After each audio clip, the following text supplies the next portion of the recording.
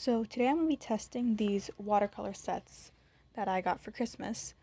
These are by Art Philosophy. And I have three different sets.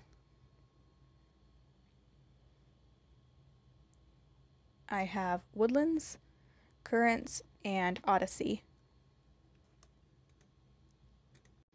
Each set comes with one of these papers for testing the colors and they all have a fun name that fits the theme of the set. And every single color in here is wrapped in both paper and plastic, so now I have to take all of those off.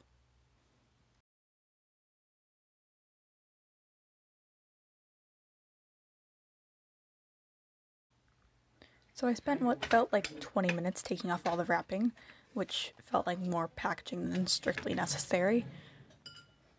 Anyway, I'm going to fill in all these test papers now and see what all the colors look like.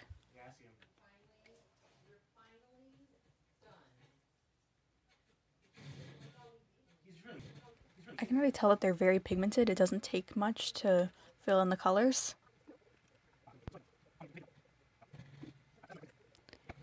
I stopped caring about staying in the lines after a while.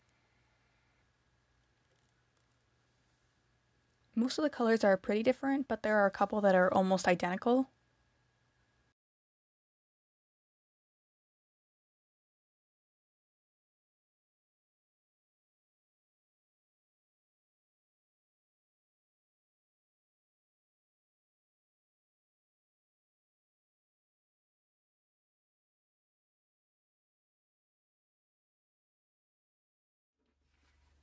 Along with the names, they also have a light fastness rating on each color.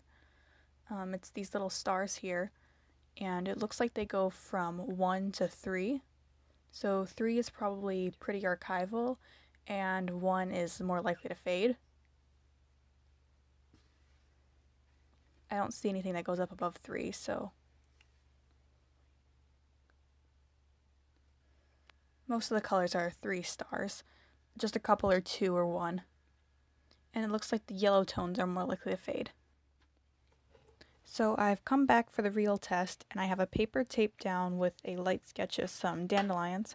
I sketched it out with this blue watercolor pencil so that it dissolves.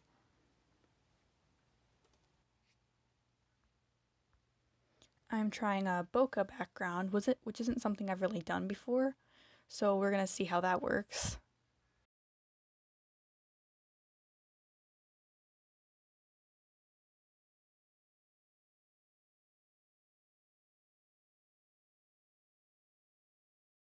The colors are super bright, especially the yellow.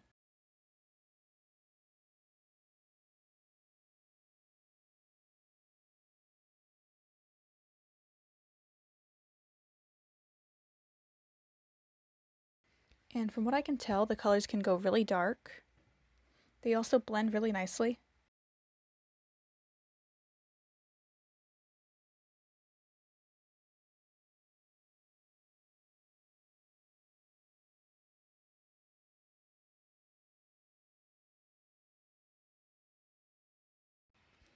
So this is the finished test piece, and I feel like I could have done better with the flowers, but that's on me and not the watercolors.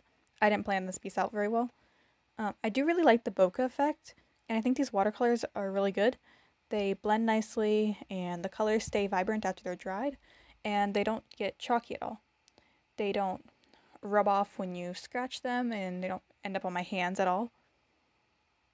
Overall, I really like these. The colors are great, and they seem to be good quality. Um, I think I'm going to have to do some more watercolor paintings after this. Anyway, I hope this video was helpful and let me know what other supplies I should test out.